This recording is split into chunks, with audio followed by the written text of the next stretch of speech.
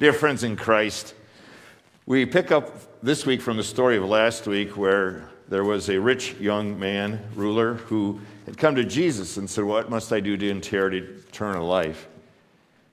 And Jesus said, Keep the commandments. And he said, I've done these from my youth. And then he pointed out his idol.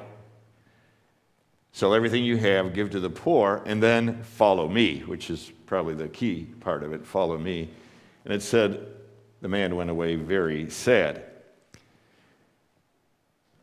We look at this particular passage today, and we see Jesus now teaching his disciples. That was a very public uh, moment. You know, someone was seeking an audience with Jesus.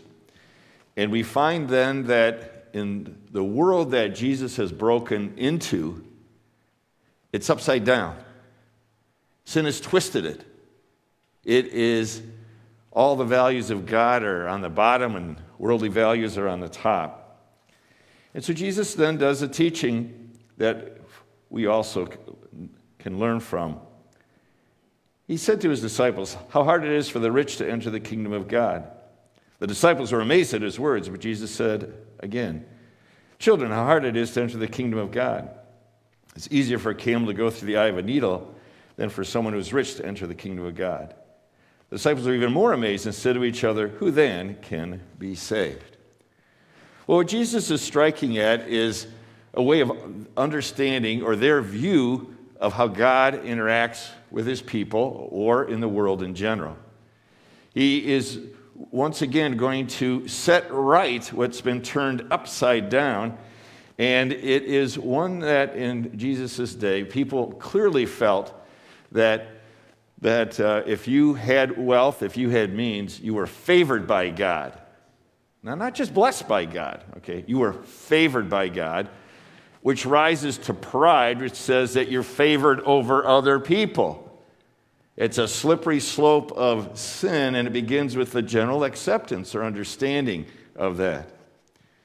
And um, uh, as Jesus comes in and strikes that down, by saying how hard it is for the rich to get into the kingdom of heaven. They're thinking, oh, we figured they were already in.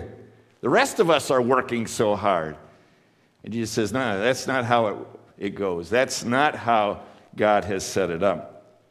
And he even says that because riches create a false sense of security, of not needing God, a false sense of well being that money can pretty much buy and take care of everything, which it can do a lot but it still has its limitations as we look at people in, in uh, know, certain situations. He gives one of his extreme examples. It is harder, easier for a camel to go through the eye of a needle than for someone who is rich to enter the kingdom of God. Boy, this really gets through to them saying, okay, we have to put things now in a new perspective. And this new perspective is what Jesus wants to have us continue to not only understand, but live under. And then they say, well, who can be saved? And Jesus is teaching, used hyperbole, exaggeration. I mean, just to, to, talk about it, you know, which I understand to be, you know, a camel and an eye of a needle, small thing.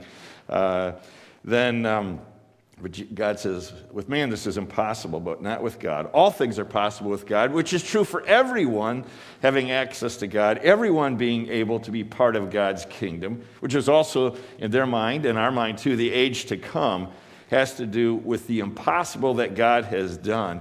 And you know what's impossible? To change our hearts.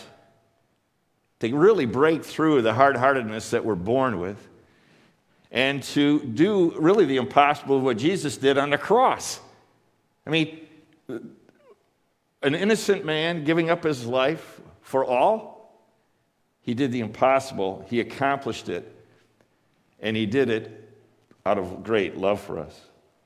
So we come where Jesus then at the at, as we take a look at our verse, then speaks of what this means. Because Peter says, We've left everything to follow you. Okay, so now what? We seem to have lost everything. And in Mark 10 uh, 29, it says, Truly I tell you, Jesus replied, no one who has left home or brothers or sisters or mother or father or children or fields for me in the gospel will fail to receive a hundred times as much in the present age homes, brothers, sisters, mothers, children, fields, along with persecution. In the age to come, eternal life. But many who are first will be last, and the last first. So we find that um, uh, as we understand this, that God has sent Jesus into the world to set things up right. And in doing so, he first had to deal with the source of it all, the sin, by paying for that, destroying that, his body broken, that we would be whole, God giving his life back as we celebrate Easter every week, and for us to understand how God works. See, the truth is, is if you want to think that God favors those who have wealth or means, or even health, you know, whatever, well, what does that mean? You don't have God's favor when things aren't going so well? God doesn't work that way. You know, one of the great things about our being connected to Jesus and what he's done for us is that we always have God's favor. Always have God's favor. That's the message of grace and love and mercy and forgiveness. We always have God's favor. But not because somehow we've earned it, deserved it, or, or do it, but because of what God has done for us. And part then of what he says is the following me, because that was how we left off last week, was follow me. Uh, we find that Jesus says, You're going to receive a hundredfold in this life and the age to come. But he also says, along with persecutions. We have to keep that in mind. See, if we're in the service of Jesus, if we're following Jesus, which means we're in the service of Jesus, then ultimately serving in his church and serving those around us, joining Jesus on his mission, the neighbors that God has placed in our world that we live in and amongst, that we find that the promise of God is both a blessing and suffering. It's both. And it's a reality of what God would say to us as we see again that sin upside makes everything upside down. The world is what skews and confuses our values. And once again, God would call us to reaffirm his values, which then are our values and to see how the world turns it upside down. That Jesus was dealing in a world where even then there was a lot of corruption. See, what was the idol of the, of the, of, of the leaders in the church of Jesus' day? It was their power, it was their status. See, that's worldly, right? Don't we have a lot of that going on? And there's a, a, new, a new report of corruption every day somehow in the news, all across everything, right? Doesn't matter where it's at, those in, in position and, and power. And we see corruption, uh, valuing that more, more than valuing people and serving people. Jesus calls us to focus on service. And he promises you're going to be blessed a hundredfold. But don't forget, the path of Jesus is not so somehow you gain material wealth. We find that even today, uh, and for many, many decades, uh, or maybe even longer than that, that there are those who would hold out Christianity to people as a way to have all things come their way, right? Health, wealth. Which somehow then, as if it's not happening, all of a sudden, oh, I guess I don't have God's favor. I don't have enough faith. I'm not working hard enough. I'm not striving hard enough. And Jesus says, wait, wait, what you're asking for is impossible for you to do. You can't strive, work, attain it. I can give it to you. It comes by faith. And we do have God's favor. And you know, one of the most important ways to be reminded that we have God's favor and ties in with Jesus saying, you're going to receive a hundred times as much in the present age, homes, brothers, sisters, mothers, children, and all, is baptism. Being baptized is God's favor. You've been adopted into his family and made a full heir, fully a part of God's family, a child of God, and brothers and sisters with each other and our brother Jesus. Baptism reminds us we have God's favor. In a lot of ways, infant baptism even emphasizes it that much more, which has really been a part of our church from the very first century because it shows that it is an act of God. not the will or action of the baby, right? Now, it's important that if someone's been baptized, that they're taught the faith, that the faith is nurtured, and that nurturing comes through the Word of God and the fellowship of the church. And then there's a time which um, we, we have, it's really exciting. We have our, our uh, nine uh, confirmation students. And uh, as I taught them last week, uh, just a, a, great, great group of young people. Uh, again, commitment by their families to confirm the faith of their baptism. An understanding then of what it means to be a child of God. So we find that uh, when Jesus comes in and says the last, first will be last and last is first, he's really saying, we got to. I'm come to turn things upside right.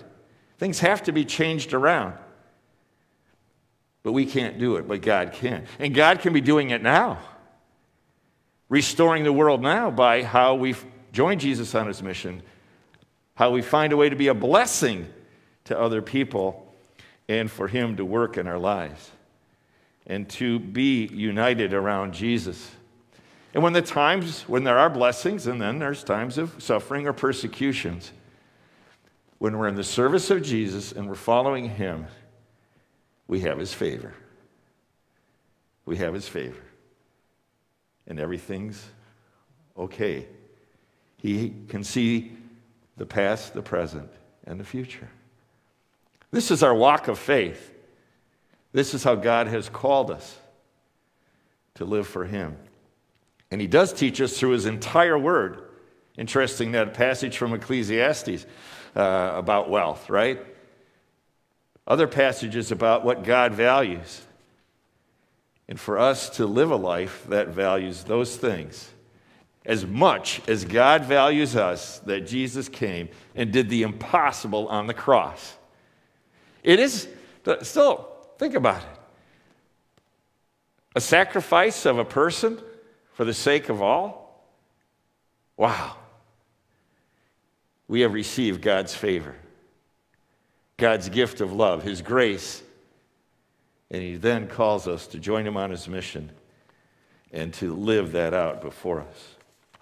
Once again, focusing on service, putting God's values first, because He has given us that value. May we continue to understand fully, under all times and circumstances, that we have God's favor. Jesus, our true treasure, our all and all. Love the, that last um, part of the hymn.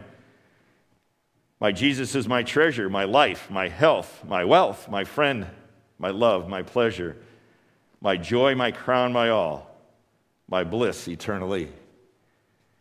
What is the world to me when you have Jesus? In his name we pray. Amen. May the peace of God that passes all understanding keep our hearts and minds in true faith unto life everlasting. Amen.